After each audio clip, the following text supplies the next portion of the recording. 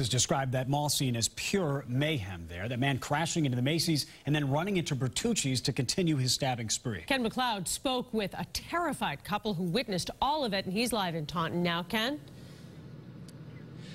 Paula, Alex and his girlfriend Jen have been to this mall countless times for all sorts of stuff. But tonight's trip is something that the teenagers will never forget. And the tip off for trouble was actually in the bushes.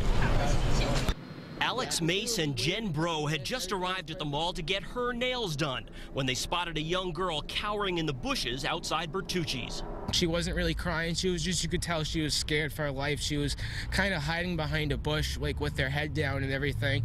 And we were asking her, like, do you want to get in the car? You know, like, are you okay? She saw a guy walk in with, it and he like grabbed a chair to like um, hurt one of the waitresses, and then he, she saw um, him stab the waitress. It wasn't long before the little girl's story was validated by families fleeing the mall in obvious distress.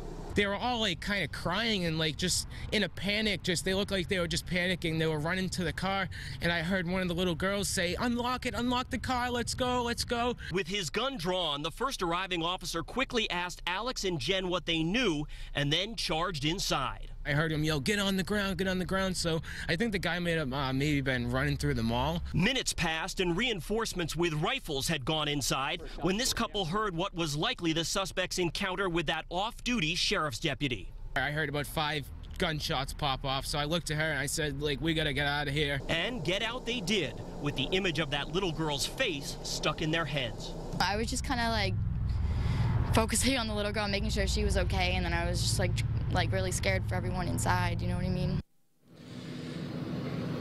Now, the little girl told that teenage couple that her mom was still inside Bertucci's. We don't know her fate at this point. When we interviewed Alex and Jen, they still did not know that the suspect and two of his victims have been killed. Now, that little girl's frightened face is likely to haunt that teenage couple for a long, long time. Live in Taunton tonight, Ken MacLeod, WBZ News. Liam and Paula, back to you. All right, Ken, thanks so much.